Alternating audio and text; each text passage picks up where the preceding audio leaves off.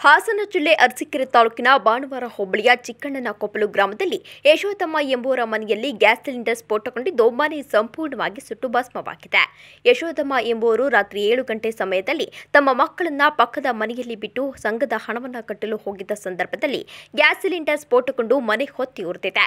ಮನೆ ಹೊತ್ತಿ ಉರಿಯುತ್ತಿದ್ದನ್ನ ಕಂಡಂತಹ ಗ್ರಾಮಸ್ಥರು ತಕ್ಷಣವೇ ಬೆಂಕಿ ಹಾರಿಸಿ ಅಗ್ನಿಶಾಮಕ ದಳಕ್ಕೆ ಮಾಹಿತಿ ನೀಡಿದ್ದಾರೆ.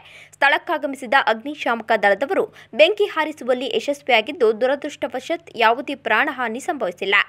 ಆದರೆ ಮನೆ ಸುಟ್ಟು ಹೋದ ಪರಿಣಾಮ ಮಗನ ಮದುವೆಗೆಂದು ಮಾಡಿಸಿಟ್ಟಿದ್ದಂತಹ ಬಂಗಾರದ ಒಡವೆಗಳು, ಮನೆಯಲ್ಲಿ ಇದ್ದಂತಹ ಹಣ, ಪೀಠೋಪಕರಣಗಳು, ಮನೆಯ ಸಾಮಗ್ರಿಗಳು, ಆಹಾರ ಪದಾರ್ಥ, ದವಸ ಧಾನ್ಯಗಳು ಸಂಪೂರ್ಣವಾಗಿ ಭಸ್ಮವಾಗಿದೆ. ಸಾಲ ಸೋಲ ಮಾಡಿ ಮದುವೆಗೆಂದು ಮಾಡಿಸಿ ಇಟ್ಟಿದ್ದ ಒಡವೆಗಳು ಸುಟ್ಟು ಹೋದ್ದರಿಂದ ಯಶೋದಮ್ಮನ ಕುಟುಂಬ ಕಂಗಾಲಾಗಿದೆ.